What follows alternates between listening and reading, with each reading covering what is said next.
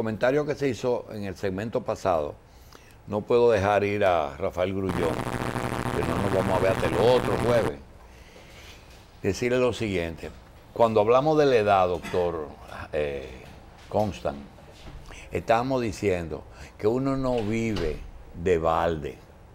El, hombre que no aprovecha su, su, experiencia, yo creo, aunque no tenga razón, pero por lo menos decir, ¿usted se acuerda lo que le pasó al gobierno de Jorge Blanco cuando se fue en contra de Jacobo Magluta? Jacobo no ganó y ellos estuvieron felices. Pero ¿qué le pasó a ese gobierno? ¿Cómo terminó el pobre Salvador Jorge Blanco? Por un error táctico de irse en contra de su candidato. Pero Venezuela no es una papita. Muy bien, pero ¿cómo es posible que el Partido de la Liberación Dominicana, que vio lo que hizo Hipólito y tuvo que echar para atrás, puso a Leonel a ir a Procuraduría a la verja, el Chinito, de Andino, Simón, óigame, señores, metió preso un pedazo del gobierno y tuvo que echar para atrás en Chauti. Entonces, ¿ustedes creen que Luis Abinader y, esa gente que está en el cordón con la sociedad civil van a permitir que el PLD se vaya para la oposición a reconstituirse para venir en el 20? Ni que lo sueñen. Lo que mejor pueden hacer ellos es preparar celdas cómodas en las diferentes cárceles modelos del país porque no es que el presidente quiera ni que promete que no va a tocar a los seis presidentes, es que la maquinaria política obligan por un librito, con hombre en primera sin A y el juego 1 a 0 hay que tocar. Eso está en el librito político, eso no hay que averiguarlo. Si tú logras el poder, tienes que aplastar al otro para que no vuelva. Y eso lo están perdiendo de vista los señores PLD con Grullón y todo. Señores. Van a llevar a la casa del conductor. Te quiero decir una cosa. Conductor. Ojalá ellos que lo lleven a la casa del conductor. Mira, eh, la Iglesia Católica este año ha tenido algunos problemas y le han dado mucha razón a aquellas iglesias que siendo parte de la Iglesia Católica se desprendieron, como el caso de la Iglesia Anglicana en Inglaterra o Episcopal, en que el rey se convirtió en el jefe máximo de esa iglesia. Esos traspiés que han dado los sacerdotes justificaron más que el, el matrimonio no era contrario a el ejercicio del sacerdocio, aunque Cristo por su misión no podía meterse en una mujer porque tenía que andar mucho caminó 150 kilómetros durante tres años para arriba y para abajo y no podía andar con una mujer a rastro. Pero esa es una labor divina. El problema del sacerdote aquí es que se ha demostrado que en esa parte no solamente era un problema que la iglesia tiene que resolver, sino que es un problema legal. La gente no sabe que ese es un problema legal. Eh, o si, Por ejemplo, si, si los sacerdotes se, se, casaran, mire, hoy el colegio de, la quinto centenario, ¿cómo se llama? El padre Santa Elisa. ¿Es legal o económico, doctor? es económico, exclusivamente económico. La herencia, la herencia. ¿Cómo se llama el padre Santa Elisa que tiene un colegio? Eso fuera de la esposa del padre Santa Elisa la Universidad Católica Madre y Maestra fuera de la esposa de Monseñor Agripino Núñez, la Plaza de la Salud fuera de la esposa de Monseñor Nicolás López Rodríguez. O de sus hijos. O de sus descendientes, estoy hablando de herederos. Pero ellos no pueden permitir ese desorden. Entonces lo que hacen es que le prohíben casarse. Y eso está trayendo lo que me estaba diciendo alguien aquí que vea la película de la investigación sobre la iglesia en Boston. Nosotros tenemos una iglesia episcopal tranquila que no ha hecho alarde, no ha tenido problemas, sus ministros son casados, si tienen que separarse se han separado, inclusive ya hay una ministra, una mujer que ha llegado a ser obispo de, de esa iglesia, aceptan en algunas diócesis eh, la, la- no, no excomulgan a los homosexuales. En fin, yo quiero eh, darle la bienvenida al padre Manuel Esteve, sacerdote episcopal o anglicano. Le doy las gracias y quisiera que el mensaje navideño lo haga este año, porque los otros sacerdotes católicos están muy ocupados, padre. Ah, ok. Ellos están muy ocupados. Bueno. Adelante. Nosotros eh, le damos las gracias a ustedes en nombre del obispo Julio César Ordín, de la Iglesia Episcopal Comunión Anglicana, y de mi parte que estoy en pie, de pie, desde las 3 de la mañana que vine de Asua, porque quería llegar temprano. Ah, porque usted estaba en Asua. Sí, yo vivo en Asua. Ah, que allá que usted ejerce. Estoy y hay iglesia en Asua. Sí, señor. Tenemos tres, cuatro iglesias en Asua y otra que está en ¿Y tiene camino. tantos fieles en esa provincia? Estamos caminando bien. Usted tiene más que los políticos allá. Bueno, la iglesia eh, ha trabajado bien porque, como usted decía, es una, un, un catolicismo abierto, reformado, respetuoso de todas las iglesias. No consideramos a nadie hermano separado. Creemos que toda persona que cree en Jesucristo es nuestro hermano. Creemos que toda institución espiritual que trabaja para promover la salvación, sobre todo teniendo a Cristo como, como centro de la vida, eh, no es adversa a la fe, no es adversa a nosotros. Y trabajamos abierto, no tenemos problema con abrir las puertas a los homosexuales, no tenemos problema de darle la comunión a los divorciados, a aquellas personas que no están casadas por la iglesia también pueden comulgar. ¿Por qué? Porque el sacramento es para todos.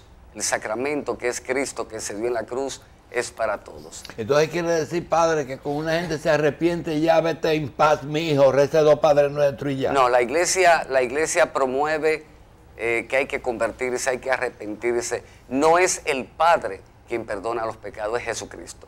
Nosotros tenemos las dos formas, por ejemplo, de confesión. La personal, Sí. con el Padre, con el Sí, pastor, sí. pero es más consejería. Y aquella que es directamente de conciencia con Dios. Porque la iglesia anglicana promueve la razón. El ser humano tiene la capacidad de razonar, la capacidad de pensar, la capacidad de encontrarse consigo mismo.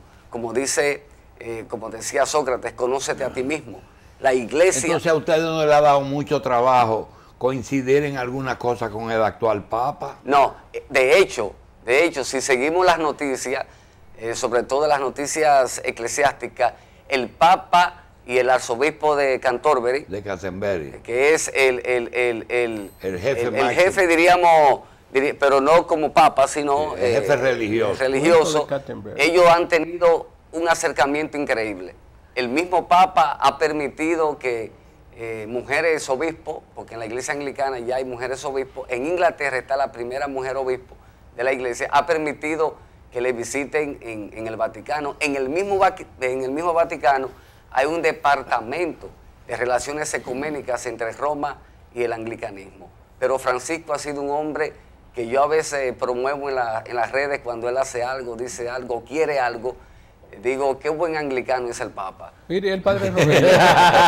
Sí, por- Eh, el padre Rogelio cabe ahí en esa. En esa El padre corriente. Rogelio, el padre Rogelio, bueno, el padre Rogelio es un hombre que tiene una dinámica, diríamos, pastoral, muy abierta, muy, muy, muy amplia. Sí, la iglesia anglicana. Esa Rogelio- participación de sacerdotes dominicanos en actividades dominicanas, ustedes no la ven mal, ¿verdad? No, no, no. Nosotros, claro, eh, nosotros tenemos nuestra frontera, por supuesto, porque el, el- el- el principal trabajo de- del sacerdote Es pastoral. pastoral. Ahora bien, lo pastoral abarca lo social, abarca la necesidad del pueblo, lo que no, lo que no podemos llegar, eh, por ejemplo, un, personalmente me gusta trabajar mucho en lo social y estar mucho en los medios, pero no podemos perder la visión al llamado sacerdotal, pastoral y pasar, diríamos, a lo político partidista. Usted sabe que usted mencionó algo, padre, que es institucional y que a la Iglesia Católica le es motivo de mucha reflexión. En el momento que hay el cisma, en que se independiza la Iglesia Anglicana, ellos tenían una iglesia católica ya, y esa iglesia tenía obispos, y esos obispos estaban autorizados por Roma a ser obispos. por todo. Por tanto, todos los obispos que a partir de esa fecha fueron proclamados obispos de la iglesia anglicana, legalmente son obispos de la iglesia católica. Claro, Legal- porque la, la, la- La sucesión apostólica. La sucesión apostólica. Claro, eh, había un momento en que la Iglesia Católica estaba negando la sucesión apostólica de la Iglesia Anglicana. Pero como usted dice, porque déjeme decirle algo en términos de, de historia. Ajá. Enrique VIII el cambio. se separó de Roma, pero la Iglesia siguió siendo católico romana. Sí. Él murió siendo católico romano. Pero después de ahí viene el proceso de reforma. Usted sabe que en Alemania se estaba llevando la reforma protestante. Sí, con Y es- Lutero. con Lutero. Y esos aires reformadores empiezan a entrar en Inglaterra.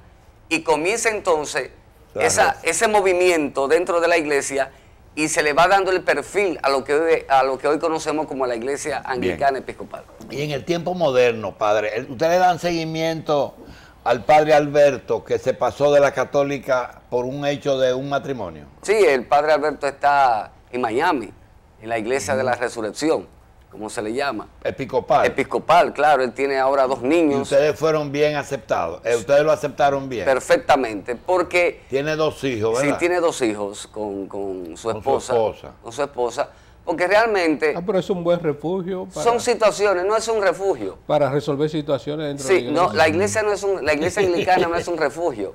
La iglesia anglicana es una institución espiritual que tiene una postura humana, que tiene una postura que entiende que todos somos seres que podemos fallar, que podemos cambiar, que podemos transformar nuestras vidas y que somos llamados, como decía Julio eh, hace un momento, no somos llamados a ser ángeles en la tierra. Y los dogmas, ustedes son comunes, los dogmas. Bueno, no, hay dogmas que no son comunes. Por ejemplo, Por hay- ejemplo, la Inmaculada Concepción es un dogma Sí, de ustedes. nosotros, ustedes lo aceptan. nosotros lo aceptamos. Lo que no aceptamos es en muchas vertientes, porque la iglesia anglicana es muy diversa. Hablar de anglicanismo es hablar de un mundo distinto, muy, Eh, muy amplio. Hay muchas corrientes. Hay muchas corrientes. Pero básicamente, ¿qué no aceptan? Eh, no aceptamos el purgatorio. El, Pero mire, eh, lo está casi quitando eh, Francisco. ¿eh? eh, el purgatorio. está Sí, lo está quitando porque el Eso es como la purgatorio sala de espera. es Sí. un producto, es un reflejo todavía medieval. Una mujer bella es un purgatorio. Sí, mire, eh, dígame una cosa. Hay ¿cómo, cómo, cómo resuelven ustedes el asunto? Que la gente que. Hay, hay curas que se quejan de que le van siempre a confesar los mismos pecados. ¿Ustedes no tienen ese caso también? No, lo que ¿No pasa le llama es- la atención a la gente? Lo que pasa es, sí. ¿No le llama la atención a Lo que pasa es que la iglesia anglicana, la forma de trabajar bíblica y sobre todo la promoción de que el ser humano debe tener un encuentro con Jesucristo. Nosotros creemos en el cambio personal. Como dice San Pablo, cambia tu manera de pensar para que cambie tu manera de vivir. Bien, padre, Mire, siguiendo con los dogmas, ¿ustedes eh, eh, rechazan el aborto? Eh, rechazamos el aborto en términos eh, me- mercadológicos, pero el, el- el aborto terapéutico lo aceptamos. Mire. La iglesia tiene una postura de que el aborto terapéutico debe ser no solamente aceptado como, como iglesia, sino como toda la sociedad. Es una postura definida de la iglesia. Juan Pablo I, Albino Luciani, él estaba de acuerdo con lo anticonceptivo y proponía también que la iglesia se despojara de todo eso bienes a favor de los pobres. Entonces hay un británico que escribió un libro, se llama El nombre de Dios, usted tiene que conocerlo. ¿Por qué recogieron ese libro la iglesia? ¿Por qué? Lo recogieron el libro, Oh, El nombre de Dios. el nombre... Lo que, Que es porque mataron a Juan Pablo I. sí, lo que pasa es que O la lo iglesia... envenenaron. Bueno, Pero la- él no es católico, para que no la, le pida la- la cuento a iglesia, él. la por- iglesia católico romana tiene su forma de manejarse y tiene que proteger su historia, tiene que proteger su perfil. Nosotros no tenemos esa preocupación. Eh, nosotros como iglesia anglicana no nos preocupamos tanto Bien. por, por, por, por, por, por- Pa- por- padre. por el rostro. Padre, nos Nos queda, nos interesa queda- más nos la queda esencia. un minuto. y hay que promover pedirle, Juan Pablo ¿cómo I también, tienen porque concebido ser un ustedes, santo. ¿Cómo ustedes tienen concebido el 25 de diciembre el nacimiento de un eh, gran profeta o el nacimiento del Hijo de Dios? Nosotros creemos que Jesucristo es el Hijo de Dios y que la Navidad es el recuerdo cada año que la iglesia apartó, la iglesia católica, no la iglesia católico romana, la iglesia católico anglicana, la iglesia La ortodoxa, católica. la católica, como dice el credo, una santa católica y apostólica. La iglesia saca una fecha para recordar el nacimiento, la encarnación de la segunda persona de la Trinidad, el Padre, el Hijo, en el vientre de la bendita Virgen María. Nosotros promovemos y hacemos el llamado a la vez de que a pesar de la cena, aparte de- del traguito, aparte de la música, debemos reflexionar y tener presente de que Cristo es el centro de la Navidad. De que Cristo debe estar no solamente Sí, en el pesebre como un muñequito, debe estar en el pesebre de tu vida, en el pesebre de mi vida, en el pesebre de tu pensamiento, de tus emociones, de tus ansiedades, de tu voluntad. ¿Para qué? Para que Él pueda, como ser espiritual, como ser eterno que está a la derecha del Padre, rogando por nosotros en el trono de gracia, frente al trono de gracia, pueda obrar en tu vida. ¿Y qué pasaría si permitimos en esta Navidad que Jesús obre de verdad en nuestra vida? Primero, empieza a cambiar a tu manera de ser. La violencia se va apartando de tu hogar. La violencia se va apartando de la sociedad. La violencia se va apartando de las instituciones políticas, de las instituciones del Estado. Porque Cristo va cambiando. Cristo es cambio. Cristo es conversión. Cristo es transformación. Cristo es vida nueva y vida en abundancia. Bien, le damos las gracias al padre Manuel Esteves, sacerdote episcopal que ejerce en la comunidad de Azua. Gracias, padre, y buen viaje. Gracias a ustedes. Cada domingo Revista Electoral 2016, un compromiso con la democracia. Candidatos, partidos, programas, propuestas, concertación electoral, debates, actividades y concursos por región y por circunscripción. Desde